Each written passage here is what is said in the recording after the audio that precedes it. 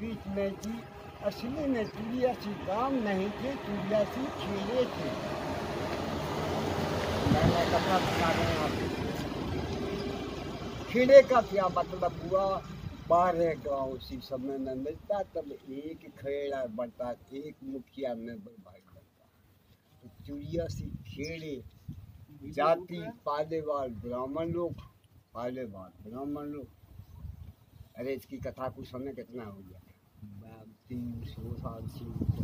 पाँच सौ साल के आसपास हो गया होगा। हाँ जी बहुत पुराने समय से।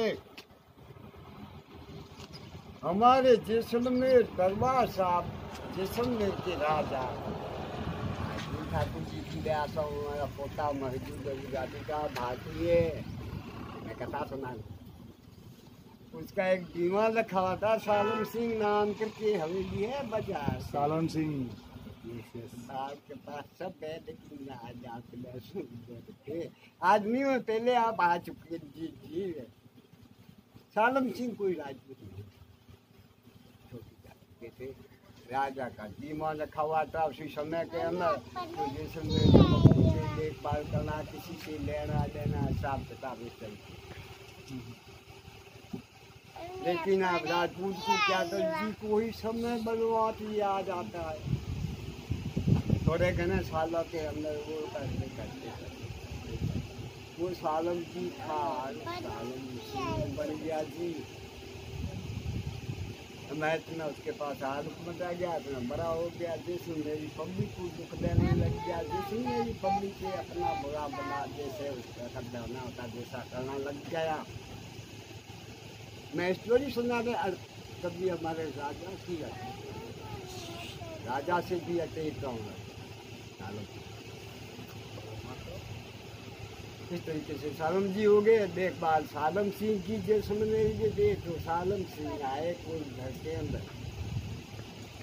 मैं एक पालेवाल ब्राह्मण के घर में एक बच्ची ने चिलम पाया था, एक शक्ति मैया, एक वो तारीख।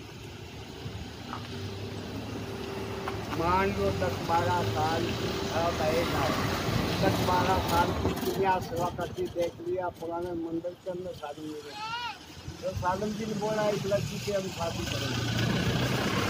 ऐसे तो बड़ा बड़ा हर एक पब्लिक से कर सच्चा समय था जी, अभी के जैसा समय नहीं था। पहले में ब्राह्मण को बहुत बुरा लगा। पहले बार बोला सालम जी बड़ा हो गया तो क्या हो गया? कि तेरा बहुत सब मालूम है, तू आज नहीं है। हमारा धर्म सबसे अलग है भैया हम हैं, हमारे के लिए नहीं है उसके पास पावर ज़्यादा थी कि ये से भला अपना मन माना तो हर एक चीज़ करवा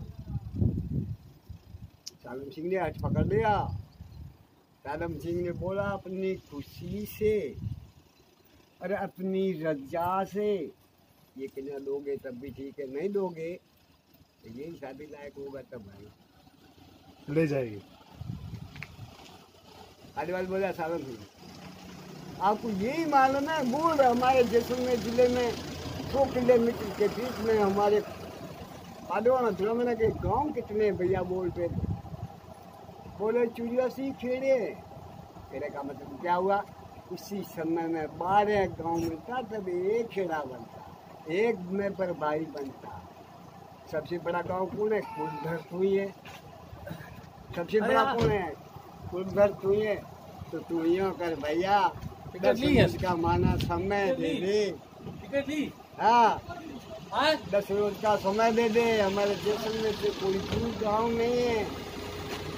हाँ, हाँ।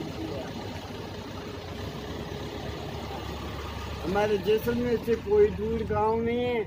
हम हमारे चुरियासी भाई में ऐलान करके हमारे चुरियासी ये कितने बजे बंद होता है? उनसे भाई मेंबर करवाएँगे यहाँ पे मैं भैया बड़ा सा मीटिंग हमारे बुज़ुर्गों के अंदर हमारी समाज के अंदर, पाले वालों में मीटिंग के अंदर हमारा जो सत बात गया तो सालों से। देख लेना मैं चलो भैया जवाब अगर हमारा सत नहीं बाधा तो बाद में तू बड़ो आदमी तो मन मन काम कर रहे ठीक है? तो सालम सिंह ने बोला, जाओ आपको ये दस रोज का समय अपने भाइयों को दिलवाओ अपना मीटिंग मीटिंग बनाओ, उसी के बाद में हम देखेंगे ठीक है? उसी समय कोई नहीं थी। अमीर के, गरीब के घर में अपने चढ़वा के लिए वो घोड़े थे थे। अपने खेत से घर से हमारी गुरमटने से पकड़ता ही अभी आप अंदर पैर काट की लगा थे गिराज में वही गाड़ियाँ थी। एक बंदा घोड़े जाए के उन्होंने सतियों ने रवाना किया पुलिस से। ए भैया ये अपना तारीख ये अच्छा, अपना आप भी अपने चिड़िया की भाई में ऐलान करते हो कि सालन जी ने ये पकड़ करके हाँ जी आप लोगों को किसी तरीके से आना जैसे अपने चिड़िया सी खेले के मुखिए मीटिंग मीटिंग बनाओ क्या खाओगे? तो आपने कुछ बड़े बड़े नए कथा सुना रहे हैं। हाँ, बड़े बड़े हाँ, ये कितने बजे बंद होता है? सा- अच्छा। सात बजे के बाद कोई नहीं आता। अरे आते तो वो एक बस थोड़ा रखते हैं आते हैं लोग काफ़ी आते हैं रात रात को आते हैं? तो क्या हुआ? एक्सपेरिमेंट करने के लिए आते देखने के लिए आते कोई है? तो क्या हुआ जी? दस रोज का समय दे दिया। चिड़िया सी भाई आके बैठ के कुलसर के अंदर मीटिंग बनाई पाले वाला ब्राह्मणा ने। हम्म। बोलो भैया।